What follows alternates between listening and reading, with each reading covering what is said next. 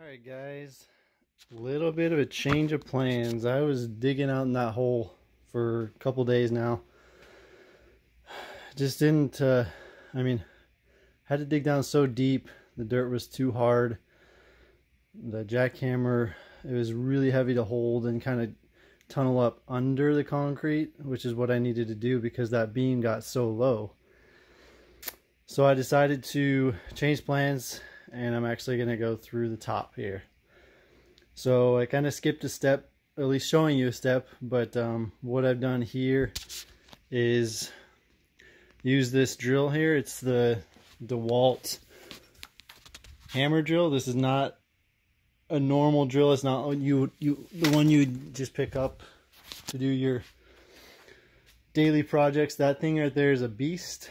Um, I could probably do about 10 to 15 holes and I had to stop and let the drill cool off.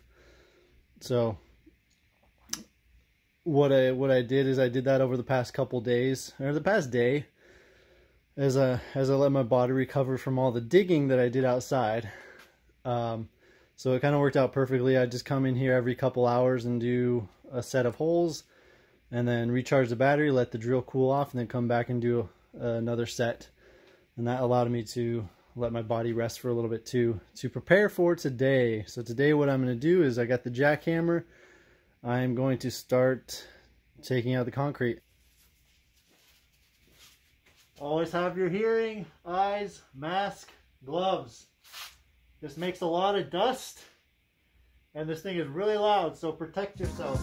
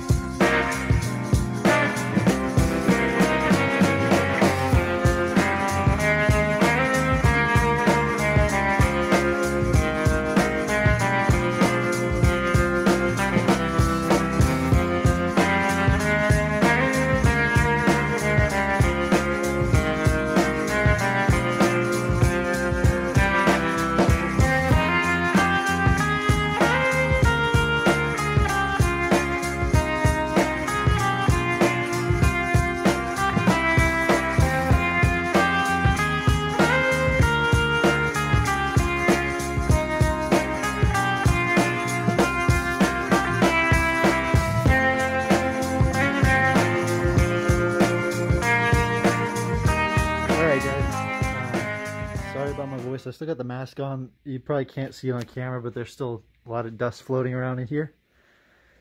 So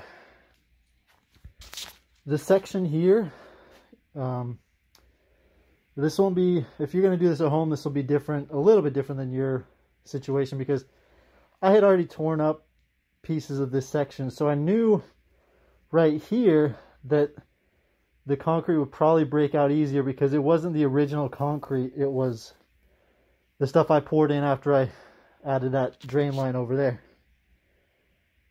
So this part right here up until about, you know, the first foot or so broke out easily. You could see the, the top inch and a half or so. That's what I just finished doing. Uh, I knew that would come out easily because again, that was the, uh, this whole floor here was sunk down an inch and a half on the original house. So I poured in uh, concrete to bring it up to the grade level.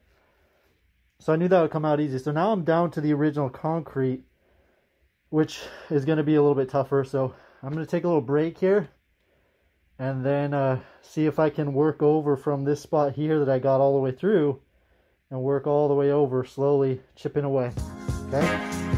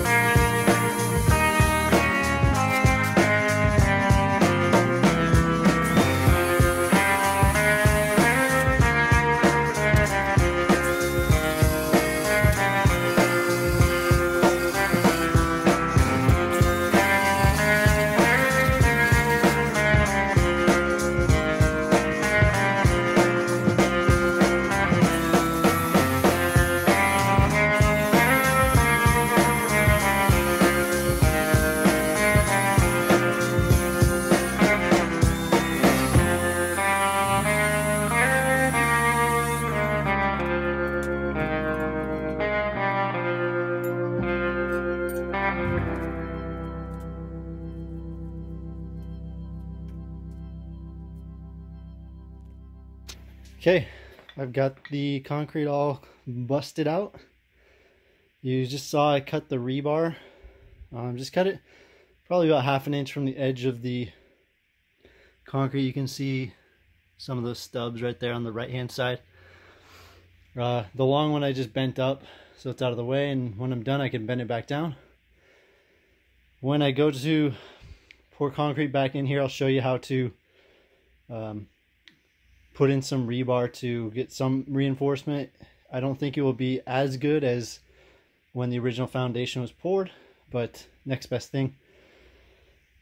Next step is just to dig down to expose the pipe. As you can see, the pipe is right here and it runs this way. So I'm pretty good to dig this hole without worrying about hitting the pipe. Um, and actually in this case, it's really not a big deal anyway because I'm taking the pipe out. It's all, as far as I, as I know, it's all corroded out. So the whole section is going to be uh, replaced. But uh, I mean, if you want, if your pipe you're not sure about and you want to be careful, uh, just uh, be careful when you're getting down deeper. How how far be, be paying attention how far down you are, so you don't hit that pipe and break it if you're trying to salvage it. Um, but yeah, you can see I, I put my hole off to the side as well so that I wouldn't dig straight down right on top of the pipe. I'm just going to use a shovel, probably going to use the jackhammer to break up and loosen the dirt as well. Uh, but this is just going to be a slow, tedious process. I won't show it. I'll just, uh, uh, I'll catch back up with you guys when it's all dug out.